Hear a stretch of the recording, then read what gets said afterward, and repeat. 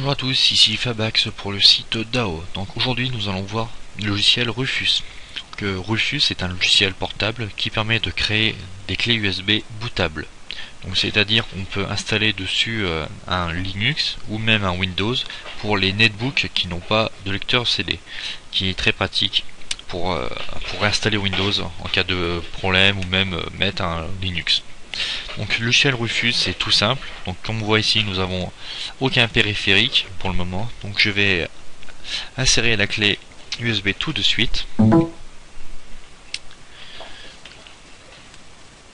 Et on peut voir qu'elle est reconnue automatiquement. Donc euh, elle fait bien 8 Go. Donc nous allons euh, prendre un type de partition BIOS ou UFI. Le, donc UFI c'est le c'est le remplaçant du BIOS donc euh, FAT32 euh, on, va y par défaut donc euh, je vais mettre tuto Fabax. Éviter les accents.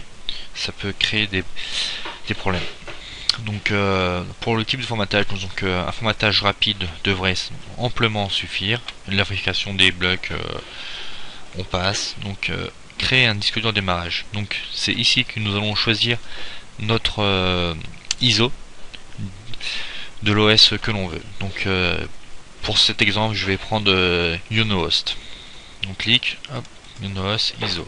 Donc il est bien reconnu en tant que image ISO.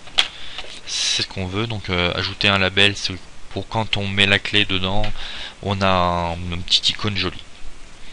Et c'est tout. Et après on fait démarrer. Donc là il dit que les données présentes sur la clé vont être effacées. Donc euh, voulez-vous continuer ou non? On va faire oui. Donc là on voit bien qu'il formate, qu'il efface et qu'il va faire tout seul. Voilà, merci de m'avoir suivi et à une prochaine pour de nouvelles aventures.